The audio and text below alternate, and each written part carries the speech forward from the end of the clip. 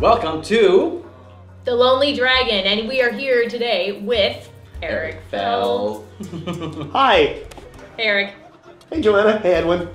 So, we're going to talk today about the Critical Hit Show. Sure. Right, okay. So, you want to tell us how you started out with the Critical Hit Show and what it is? Yes, the Critical Hit Show is a live uh, comedy show. It's improvised, and it's based on role-playing games like Dungeons and Dragons and all that good stuff. Cool. And uh, yeah, it's loads of fun. And who's in it? Well, uh, I, I, of course am the uh, the dungeon master and host, and uh, the adventurers are some of Vancouver's finest comedic talent. We have uh, Ian Boothby, who's a writer for uh, the Simpsons comic book and Futurama comic books. Uh, he also uh, is a writer for The Irrelevant Show, which is a CBC radio sketch show starring Mark Meer.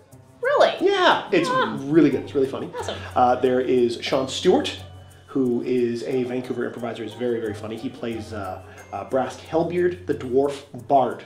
Uh, I don't know if you've heard of a bard, but he's uh, a singing uh, warrior.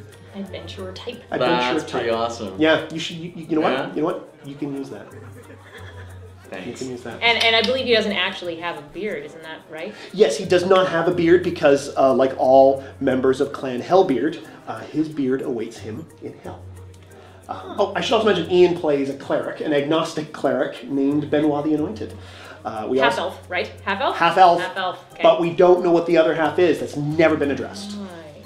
Uh, we have uh, Joanna Gaskell. Uh, she is uh, she plays an elf barbarian named Edda. What a ridiculous Hmm. class race combination. It is ridiculous, uh, but uh, I hear that uh, I hear she's kind of cashed in on it. It's got her some traction. You know, Yeah. I hear. I, this is what I've heard. Maybe. Um, and of course, uh, this version of Edda has been bitten by a werewolf, so she also has the power to transform into a werewolf. She has various uh, canine powers. Uh, not canine, the dog from Doctor Who, but uh, canine, the term, the tax, The taxonomic Latin term, taxonomic for term for a dog. Dog. Yeah. Okay. So Joanna's a no, no. That was No, we're not- we're not gonna go there? We're not going to go there. We're not going to go there because everybody can see you and they'll be No, like, "What's true. wrong with Eric? He's totally wrong." Uh, we have uh, Lauren McGibbon who plays Grima Windward, the human thief. She steals things. And she does And- it well.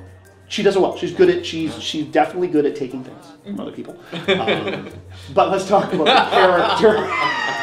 Ooh. Who else? Who else? Anyone else? that was there? just a good cut point, I think. Just, what do you think? What do you think? Yeah? I don't think we have any cuts in this show, actually. Now the director's shaking his head at me disapprovingly, No. Yeah. and now he's giving me the finger. Yeah. And uh, now Yeah, he's he's- now he's just he's he's he's, He's dry, dancing. Yeah, he's dry humping a piece of wood. I don't.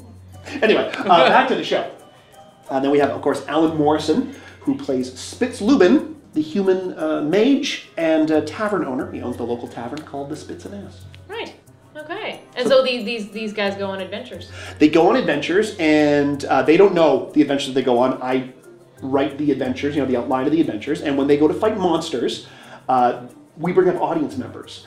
Uh, I I believe that since D and D is a very inclusive game, everybody at the table plays. Since we're at a theater, uh, the entire audience is at the table. So the entire audience participates, whether they be playing uh, villagers or uh, environment like fire or, or anything like that, or the monsters themselves.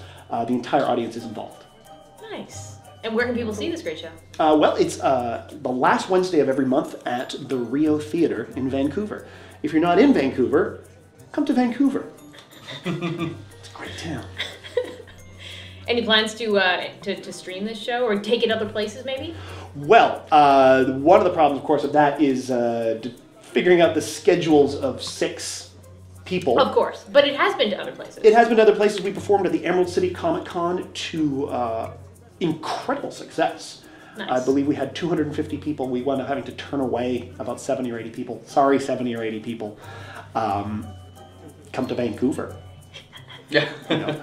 um, so yeah, it's it's been it's been a great success. We have shot a bunch of stuff uh, that we want to put online, or or maybe as a live DVD release. Uh, we also have a please yeah.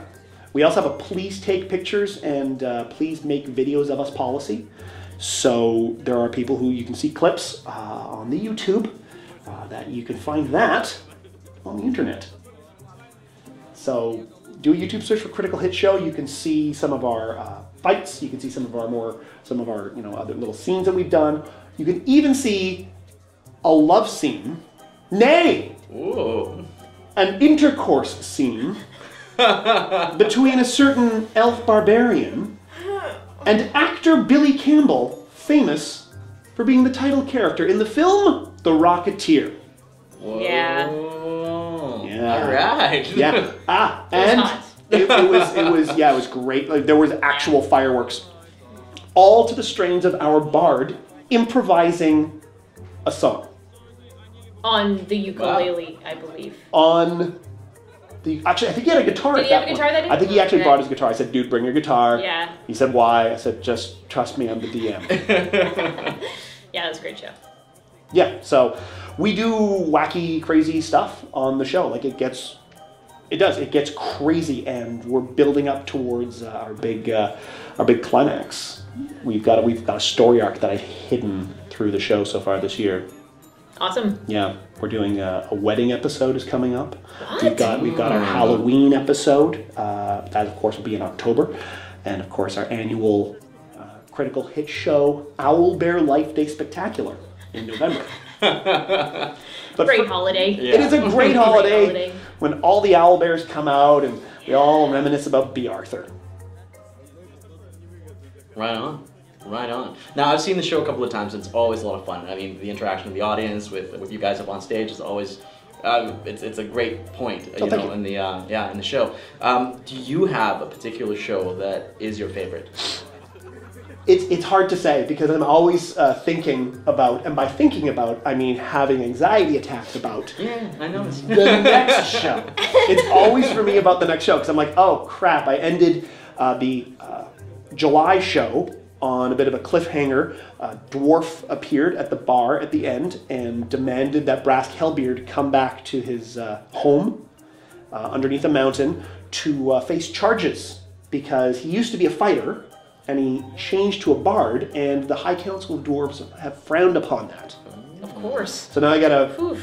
Gotta figure that out. Gonna watch a lot of Law and Order for the trial of Brass Hellbeard. Yeah, I wonder what the legal system of the dwarves would be like. Ooh, 12 Angry Dwarves! Oh man. That's what we'll do, A yeah. few good dwarves. Yeah, it's, you know, Dwarfer versus Dwarfer. It, it, it, it'll just keep going. And then, yeah, then September, um, the mayor of the town that they defend is getting married to a mysterious woman named Millicent. Who I believe he's never met. He's never met. Yeah. They met, uh, they're, Excellent. they're pen pals. They're basically the D&D equivalent of uh, internet dating. Nice. Yeah. Well, that's Cool. really exciting. Cool. Well, um, when's the next show? The next show is the last Wednesday of August, Okay.